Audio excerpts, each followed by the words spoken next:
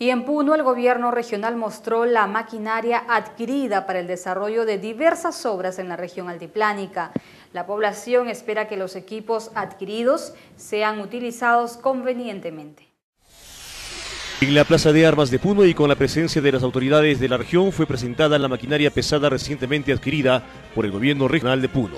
Según la autoridad regional, la maquinaria estará destinada a la ejecución de las diversas obras que tiene comprometidas en toda la región también el gobierno regional de Puno, convencidos de intensificar y hacer un trabajo efectivo para nuestros pueblos que están aislados, que están postergados históricamente en nuestra región de Puno, estábamos adquiriendo otro paquete de maquinarias que debemos tener en la segunda quincena del mes de agosto. Entre las obras previstas figuran las carreteras en las localidades de Huancanemo, Iguata, Coata, Capachica. El miércoles 15, pasado mañana, arrancamos, iniciamos la construcción del circuito turístico de Juliaca, Huata, Capachica y de Ilpa, Huata, Capachica, Pusi, Taraco para toda la región de Puno que unirá, que incentivará el turismo, el comercio y todas las actividades comerciales y también económicas de nuestra región de Puno. En tanto, la población puneña recibió con expectativa esta maquinaria, pero al mismo tiempo con preocupación,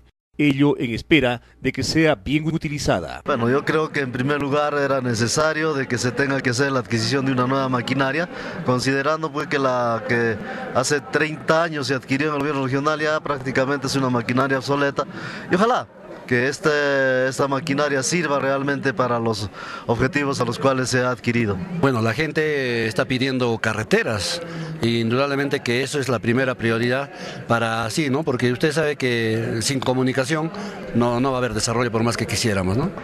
Era una necesidad para el gobierno regional, es una necesidad, entonces con eso creo que podrían estar avanzando lo atrasado que están en el presupuesto en cuanto a los gastos de las carreteras.